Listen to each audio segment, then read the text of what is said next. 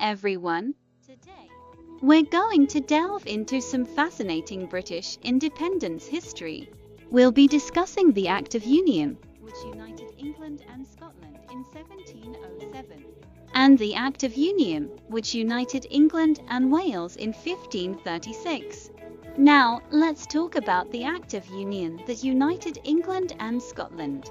Interestingly, each Scottish peer received £20,000 worth of Scottish currency.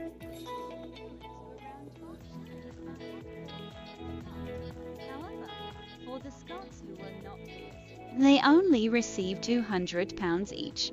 In today's currency, that would be around £42,000.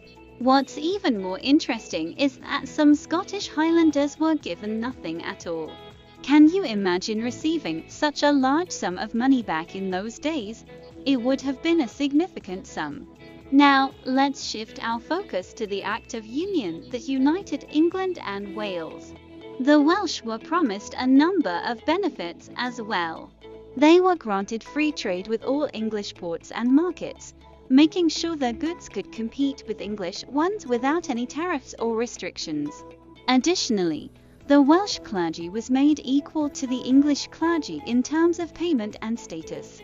So there you have it a quick overview of two significant acts of union in British history. I hope you found this little history lesson as fascinating as I did. Thanks for joining me today.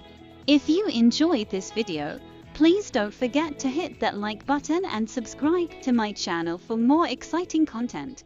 Until next time.